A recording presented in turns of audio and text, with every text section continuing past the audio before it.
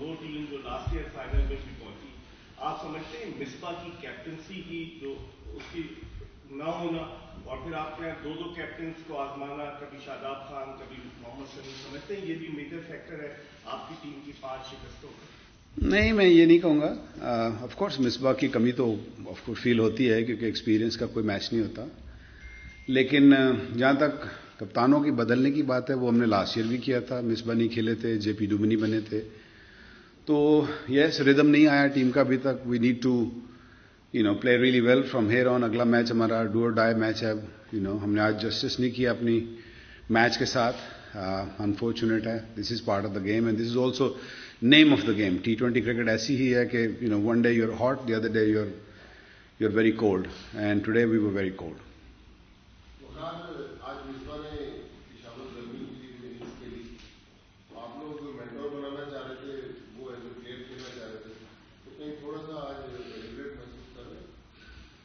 वो प्लेयर खेलना चाह रहे थे। आई थिंक uh, ये बेसिकली ओनर्स का डिसीज़न था।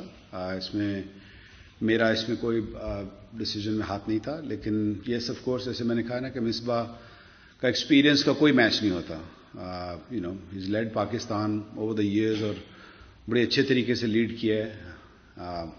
But that's the way T twenty cricket is आजकल लीग क्रिकेट ऐसी ही है players move around play for, play for different leagues. Uh, you know, Bravo को ले लें Bravo पिछले साल की और था अब यहाँ आ गया So it makes a big difference. So this is the beauty of the game also, beauty of uh, PSL also.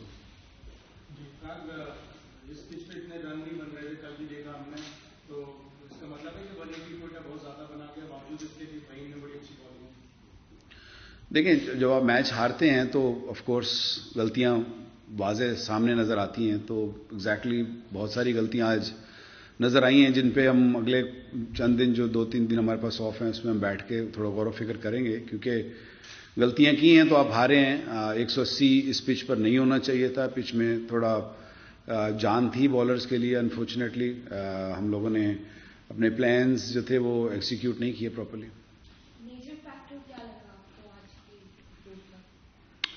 major factor I think bowling I think we gave away way too many runs थोड़ा हमने ज़रूर pull back किया and uh, के overs में. लेकिन जो damage early on उनके बैट्समैनों ने किया उनके बैट्समैन बहुत अच्छा भी खेले. I think that's way we you know पीछे रह गए थे मैच में उसमें. जी तो वकार आपने कहा कि आपका डू और डाई मैच है लाहौर जलंधर के साथ. तो क्या आपके तमाम फॉरेन प्लेयर्स टीम के साथ जा रहे हैं या कोई मिसिंग हो? अभी तक तो सारे जा रहे हैं। सारे जा कल सुबह तक का मुझे नहीं पता। जी।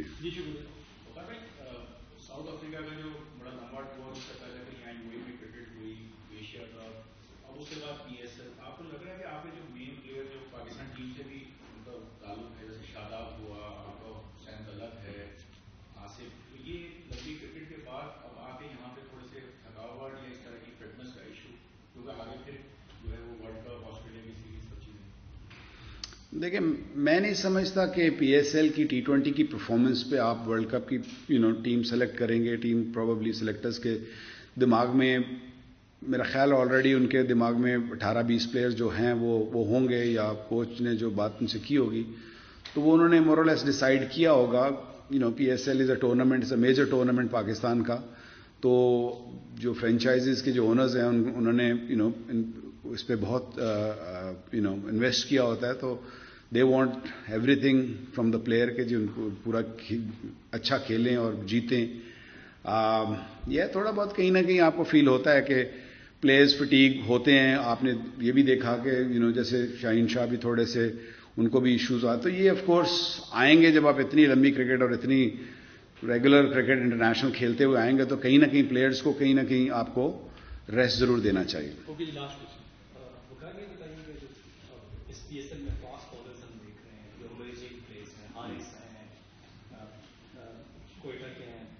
हसनैन हसनैन हम्म। देख रहे हैं कि आप हमें एक दफ़ा फिर फास्ट बॉलर्स की प्रॉस्पेक्ट्स तो है बैट्समैन फिर हमें ये तो आज की बात नहीं है ये तो आप पिछले तीस साल पैंतीस साल उठा के देखेंगे तो आपको फास्ट बॉलर तो हमेशा ही पाकिस्तान में आपको मिलते रहे हैं और मिलते रहेंगे मुझे ऐसा भी लगता है। आ, तो ये बड़ी अच्छी खुशाइन बात है कि you know bowlers young bowlers under 18 under 19 लड़के हैं जो परफॉर्म कर रहे हैं जो आपने नाम लिए हैं।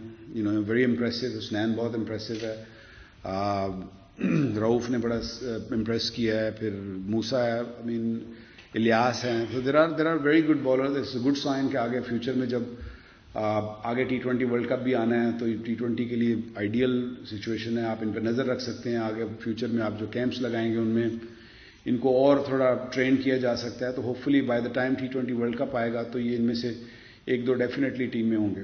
Thank you thank you camera देख।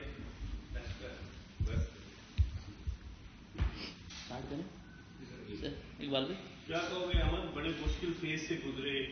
दो टेस्ट और फिर उसके बाद टीम से भी बाहर हो गए और इब्तदाई मैचेस में भी इस टूर्नामेंट के अब जो फॉर्म वापस आई है कितने कॉन्फिडेंट हो कि you can stay the comeback in Pakistan team in near future I am really confident and ये एक ऐसी चीज़ है बिलीव इंसान को ये कभी भी नहीं छोड़ना चाहिए बात। और uh, बहुत छोटा सा जब से क्रिकेट स्टार्ट की उसमें बहुत ज़्यादा फेसेस देखे अप एंड डाउन देखे और उसमें से आपने खुद ही निकलना होता है। और लाइफ नेवर स्टेज एक जैसी।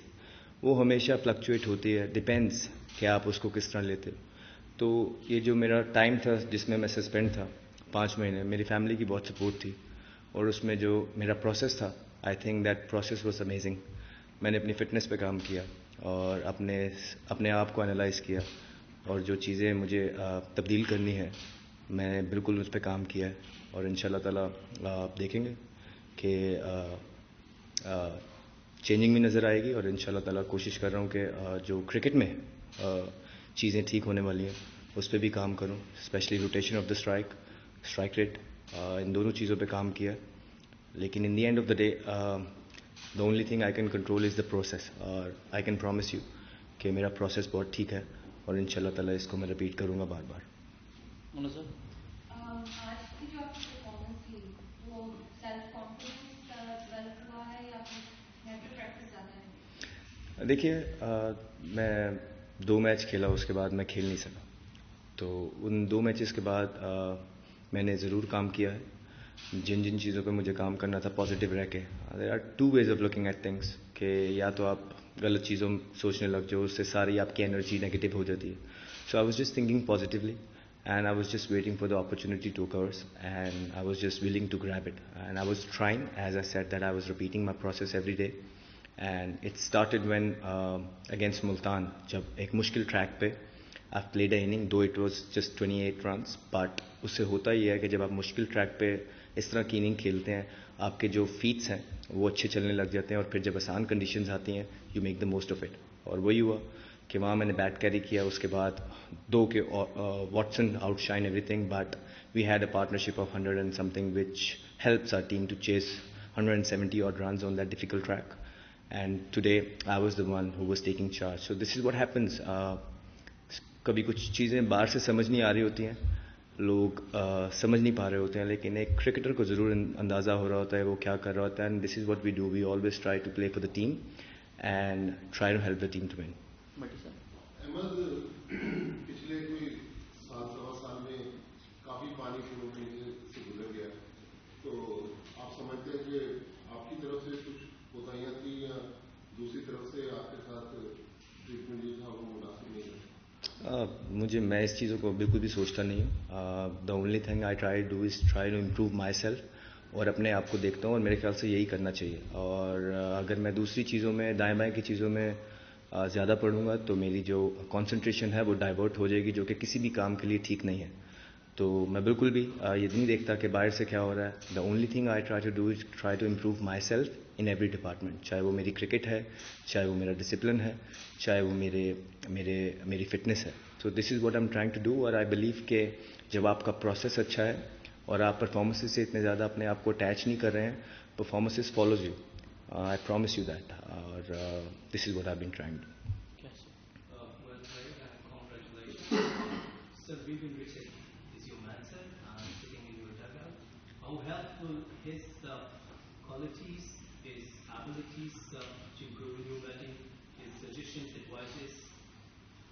he's a, he's a legend as we all know and he always helped everybody not only me uh, as i said when i was not playing I was spending some quality time with him, which really helped. Uh, he helped me staying positive all the time, and he was letting me know that opportunity will come, and I have to prepare myself for that. Don't let that go. So yes, it always helps uh, a team environment when you have Vivian in, in that environment, and we are really lucky that we have him, and uh, hopefully we can carry on learning some very good things from him. Ahmad जब आप इस talented player team से बाहर होता है तो क्या कुछ सीखने को मिलता है? क्या कुछ गलतियाँ पता चलती है की थी या मेरे ख्याल से चीज़ों आप एनालाइज ही तब कर सकते हो जब आप पे थोड़ा सा टफ टाइम आता है। और जो टफ टाइम आता है वो आपको बहुत सिखाता है। दो तरीके होते हैं टफ टाइम को लेने के। या आप उसको दूसरों को ब्लेम गेम खेलते रहें। उसमें आप अपने आप को इम्प्रूव नहीं कर सकते। अपनी गलतियों को नहीं देख सकते। या उस टाइम से अपने सेल्फ एनालिसिस करें और जो आपको लगे कि जो चीज़ आप में बेहतर होने वाली है कि कल को जब अपॉर्चुनिटी आए तो आप इतने प्रिपेयर हो कि आप ये रिग्रेट ना करें। रिग्रेट एक ऐसी चीज़ है ज़िंदगी में जो बहुत तंग करती है। ये मेरे बड़ों ने सिखाया। जब मेरी सचिन से भी बात हो रही थी उन्होंने सबसे, या उनके जो इंटरव्यूज़ वगैरह मैं पढ़ता हूँ वो यही एक चीज़ करते हैं कि रिग्रेट नहीं होना चाहिए। कोई भी बड़ा प्लेयर है, वो आपको ये कहता है कि इतनी हार्डवर्क आपने किया हो कि कल को रिग्रेट ना हो। So this is what I am trying to say इतनी मेहनत करूँ कि कल को चाहे जो भी हो, हम सबका बिलीव है एज ए मुस्लिम दैट होना वही है जो अल्लाह ताला ने लिखा है। लेकिन अगर आपका प्रोसेस अच्छा है, आप अपना 110 परसेंट दे रहे हैं, आपकी जो लाइफस्टाइल है, आपको, आपकी फैमिली और आपको पता है कि आप क्या कर रहे हैं nobody else matter what what matters is you. If you giving you 120